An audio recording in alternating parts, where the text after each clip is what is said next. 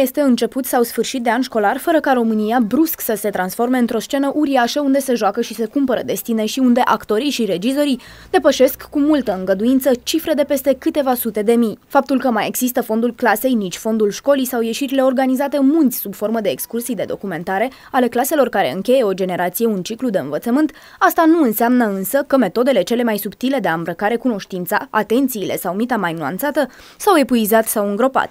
Spun specialiștii în psihologie infantilă că în absolut toate situațiile, procedând astfel, conduita școlară a copiilor este alternată dramatic și odată cu ea, întregul proces de educare a copilului. Aceasta este piatra de temelie a transformării copilului într-un viitor monstru, ca om matur, care crede că pe lumea asta totul poate fi cumpărat cu bani, că nu există conștiință, nu există bun-rău, banul contează și atât.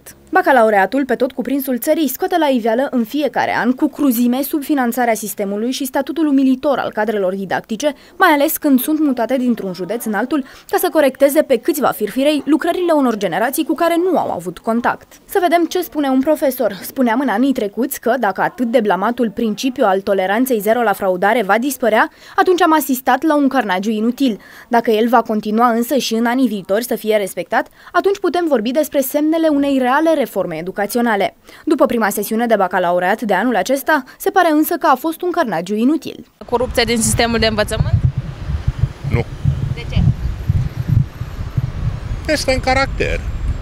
Caracterul poporului. Adică E vina practica copiilor care nu învață? Pentru că dacă ar învăța, lucrurile ar fi mult mai simple.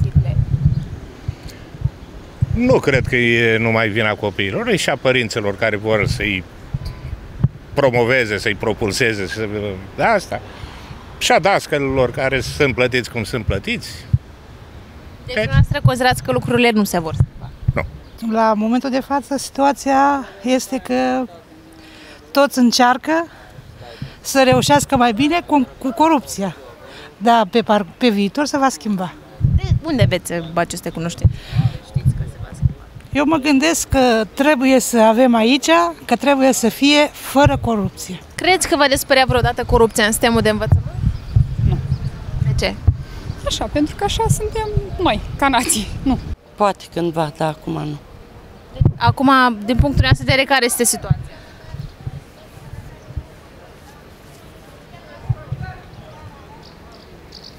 Pot să nu răspund? Că aș supăra multă lume. Crezi că va dispărea vreodată corupția din sistemul de învățământ? Nu. De ce crezi asta? Păi de ce să dispară? Se pare normal? Nu.